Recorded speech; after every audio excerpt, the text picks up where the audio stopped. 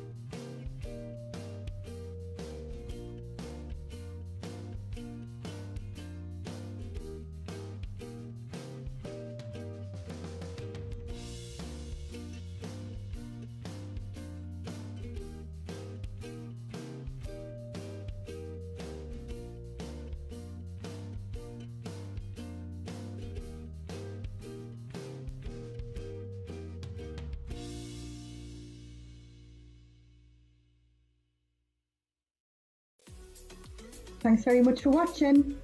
Don't forget to like the video and please consider subscribing to keep up to date with future videos and tips. If you've got any questions, please drop me a comment below. Bye for now.